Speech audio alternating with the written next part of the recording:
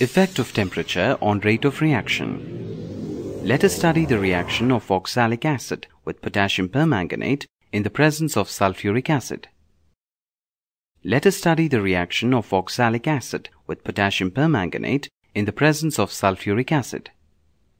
Take 0.5 gram of oxalic acid in a beaker and dissolve it in 20 milliliters of water. Now to this oxalic acid solution, add 5 milliliters of dilute sulfuric acid.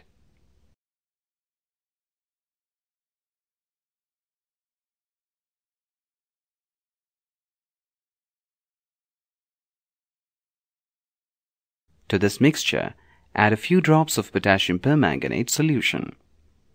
Observe that the solution turns pink. Now stir the solution with a glass rod for a while. Observe the color of the solution. The solution remains pink.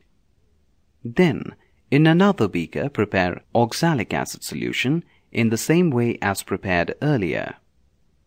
Add the same amount of dilute sulfuric acid to it.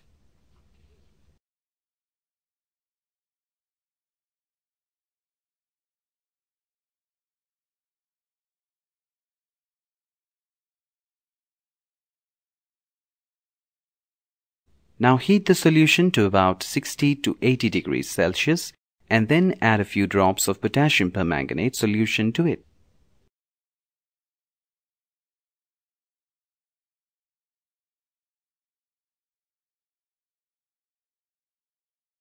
You will observe that on stirring, the pink color of the solution disappears.